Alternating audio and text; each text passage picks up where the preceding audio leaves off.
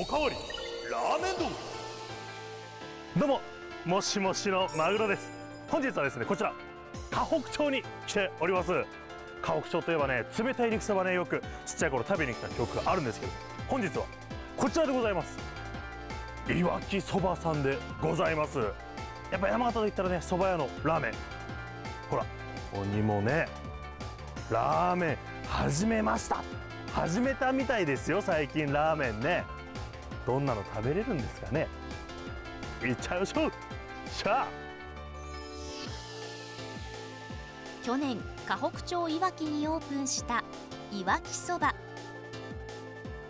座敷だけの趣がある店内でいただく手打ちそばが評判ですが今回はこの時期ならではの一杯をご紹介。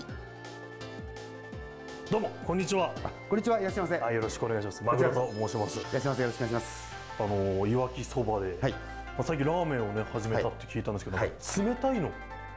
ちょっと食べれるってことで聞いたんですけど、あのあったかいラーメンもちろん始めたんですけど、はい。あの冷やし中華ではないんですが、はい。えー山形名物のだしをえかけぶっかけただし中華。店主の岸健一さんは現在60歳去年念願だったそば店をオープンしおよそ1年でラーメンの提供もスタートしました。山形名物だしを使った夏の一杯とは？はい大変お待たせしました。だし中華普通盛りです。あ来ました。どうぞ。こんな豪華もう御膳というか。ありがとうございます。中華麺にだしと鰹節ですね、はいそうです。これはどう食べるのが正解なんですかねこれは。はい。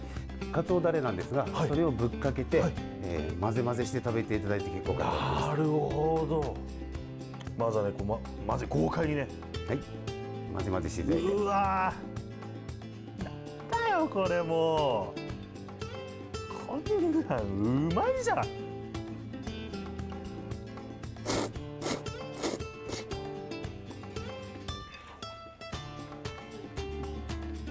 夏来たねこれ。あありがとうございます。夏来た。爽快感抜群。うまいわこれ。麺は手もみを加えることでもちもちとした独特の食感に。中太縮れ麺に絡むのは鰹節や煮干し根昆布などがブレンドされた自家製の麺つゆそば店ならではの味わいを感じることができます。もうだしですわ。粘り気が絡む、はい。絡む。ご家庭だともうちょっと細かくだしは作るかと思うんですよ。